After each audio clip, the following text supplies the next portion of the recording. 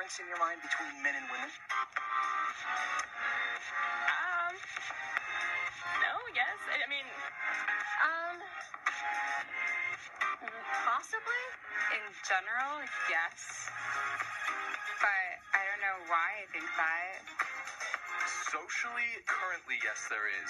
There is no need for that difference to exist, uh, scientifically and logically. If you think that you're a male, if you think that you're a female, that matters more than the biological difference. There's not much difference besides what society forces on people. And how do you know the difference between men and women?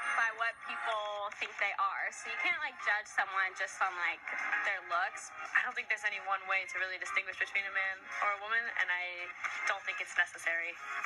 Uh, it's not always consistent. It has a high probability, like 98% of the time I can get it right. There is some ambiguity. I think, yeah, there are ways to tell, but then again, you can always be wrong. What would you say I am? Just judging off of your looks, I would say that you're a male.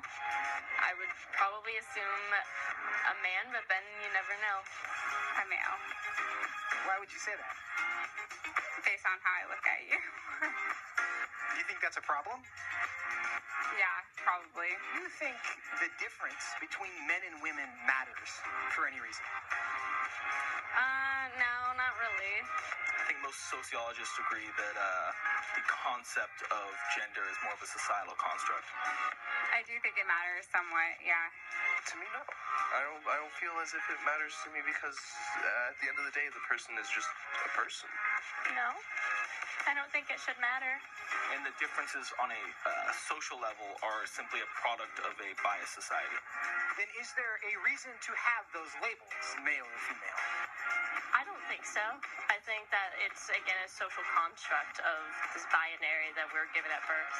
There is kind of a difference, but at the same time, if someone wants to identify as one or both or as nothing, I also find that completely okay and